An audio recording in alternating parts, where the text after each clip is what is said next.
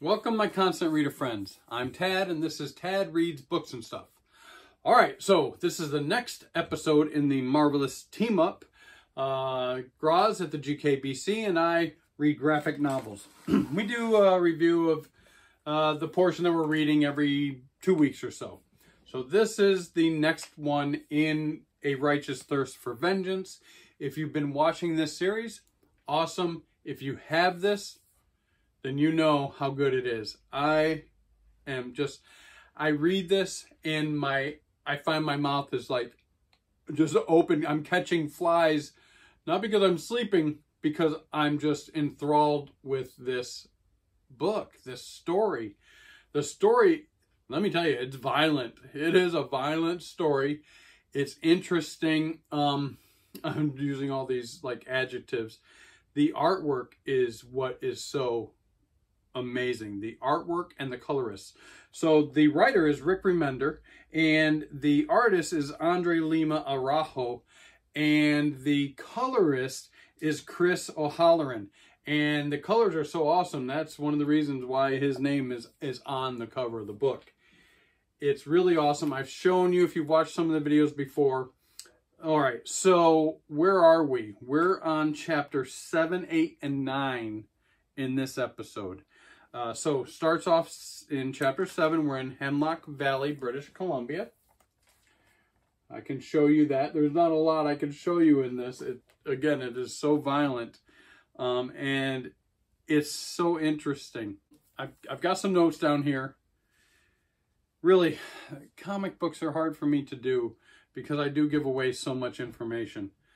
But as I've talked about it in this book, again, the artwork is a lot of it. So you can go sometimes one, two, three, four, five, six, almost seven pages without any um, uh, speaking bubbles, no dialogue, no explanation. You're just watching it unfold like a movie. And it's awesome. So what we're doing here in chapter 7 is we're in Hemlock Valley. That's where they're hiding out.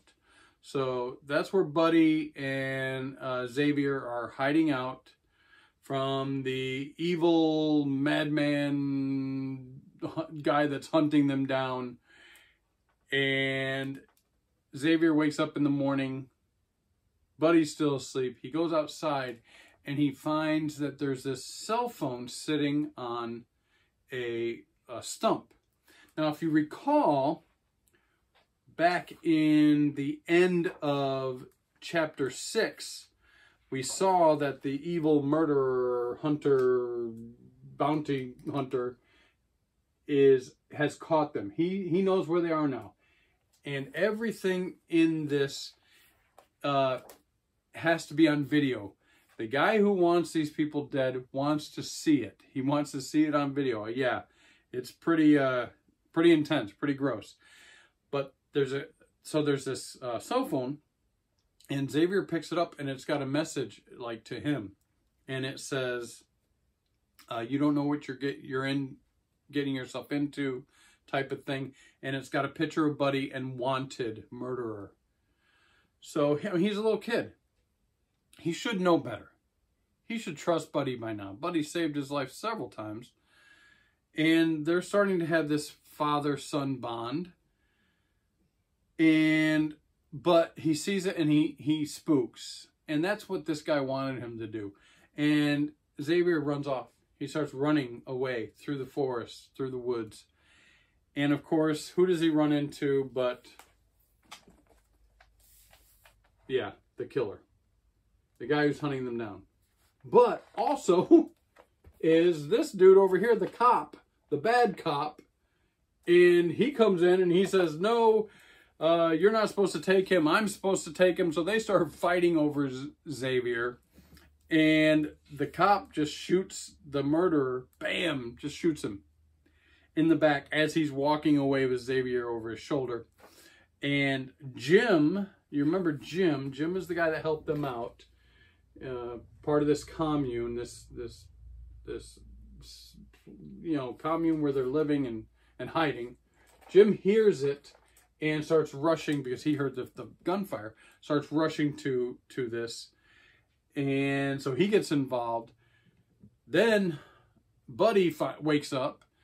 Buddy's like, Where's Xavier? He goes running through the commune. Where, where's Xavier? Nobody knows. He he knows that he's run away. He hears a gunshot. He goes running off into the woods.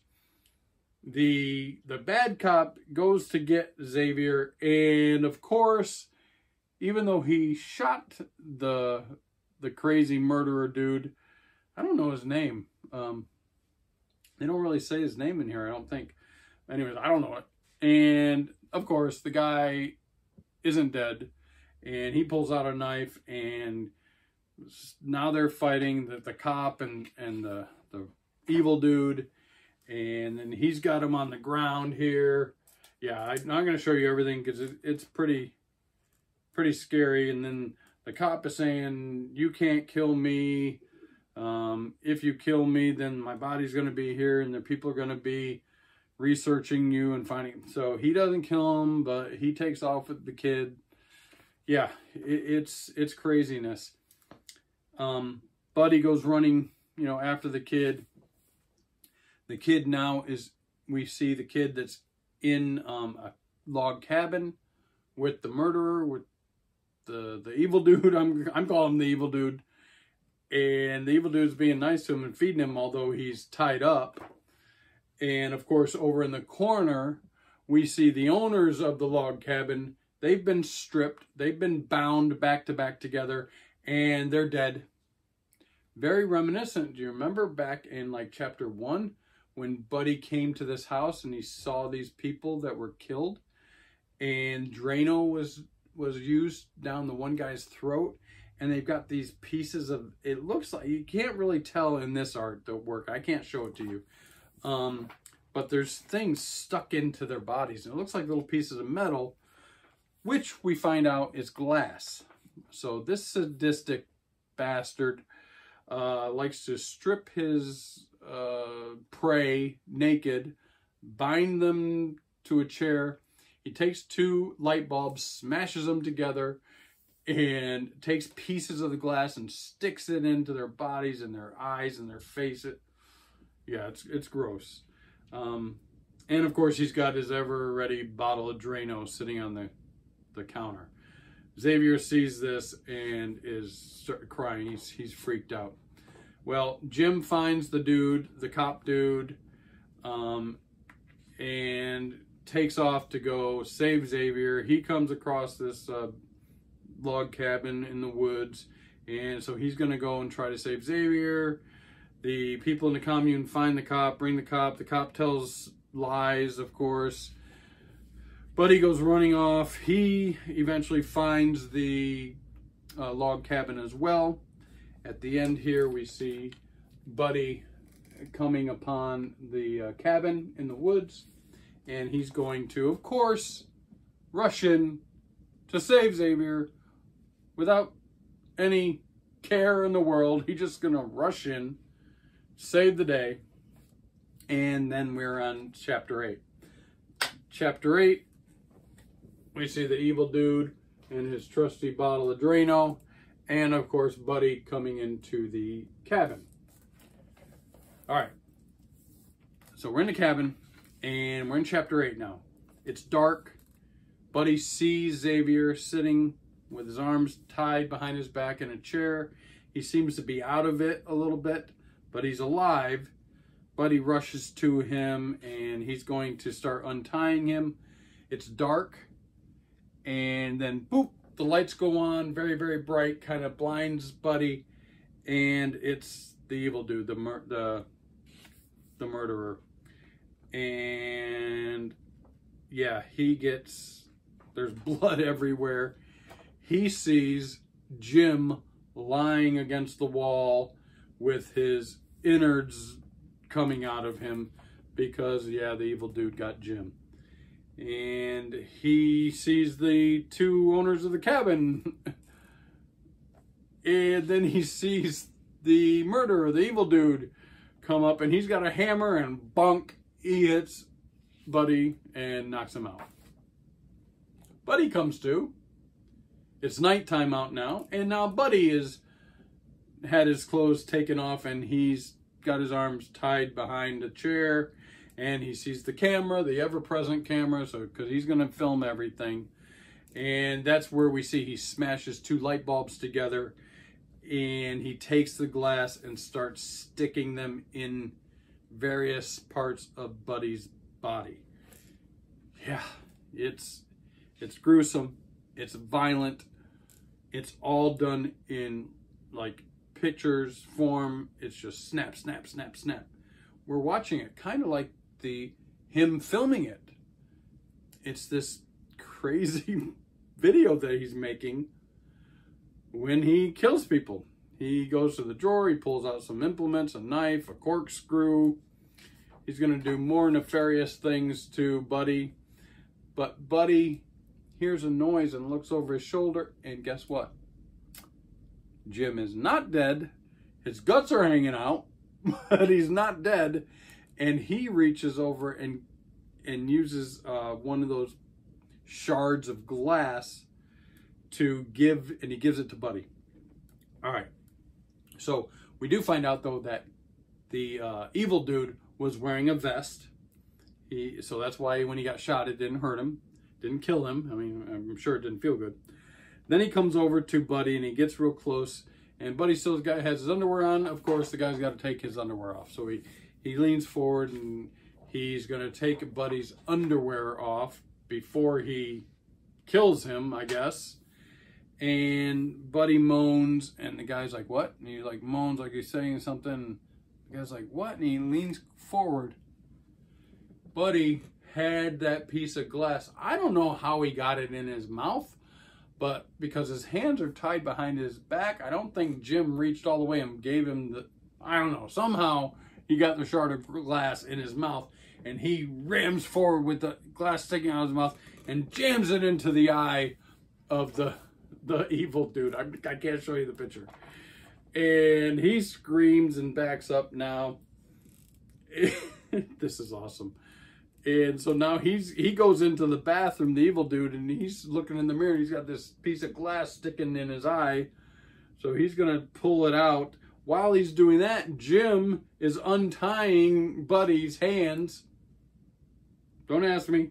Jim's got his guts hanging out, but he's going to save the day.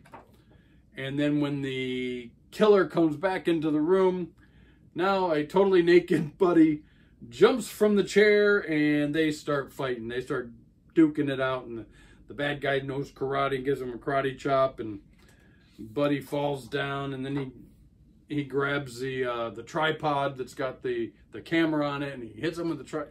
Oh my gosh, this it's it's very violent. It's very bloody. It's very cinematic. I mean, again, page after page after page of of no dialogue or anything like that. We're just looking at, at these amazing pictures. And he gets, Buddy gets him down on the ground, and guess what he grabs? The bottle of Drano. Yeah. Holy cow.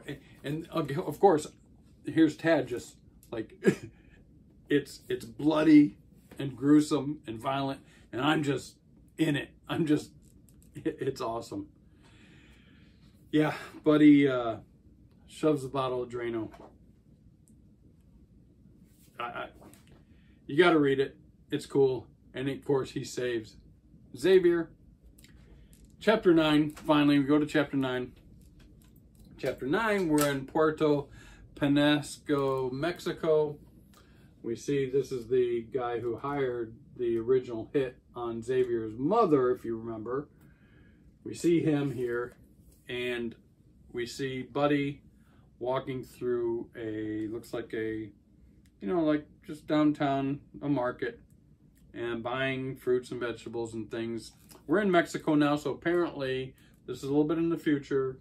Buddy and Xavier have escaped to Mexico now. Are they going to be on the run forever? We don't know. Um, but Buddy went through the store, uh, the market, got some stuff. He's making breakfast for Xavier. And he says, hey, let's, uh, I've got to go on an errand. You remember back in chapter one, when we, we see Buddy smoking a lot and he's coughing and he's coughing up blood. And now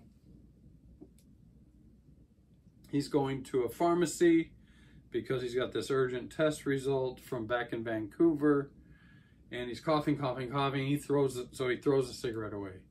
He goes to the pharmacy apparently to get some medication for whatever he has. Um, we can only assume. And he gets back in the, the, he's got a Jeep now. He's driving the Jeep. And what does he do? He reaches over and he lights up another cigarette. Yeah, he can't stop. Can't stop himself from doing it. Goes back home. He says, Hey, Xavier, we're going out for a ride.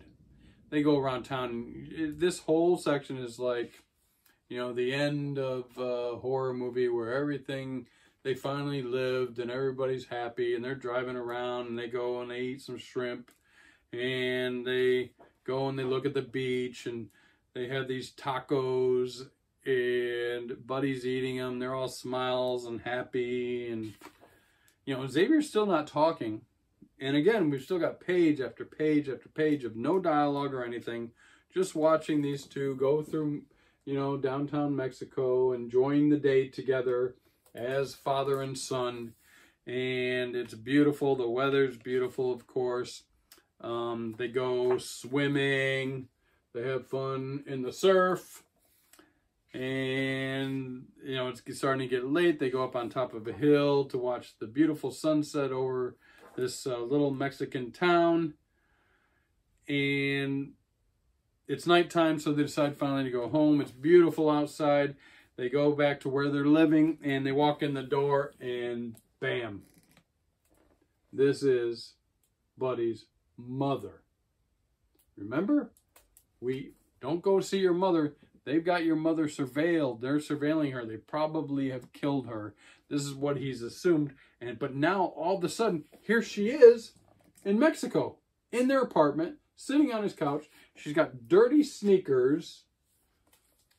Oh my gosh, what? And he just says, Buddy says, Mom?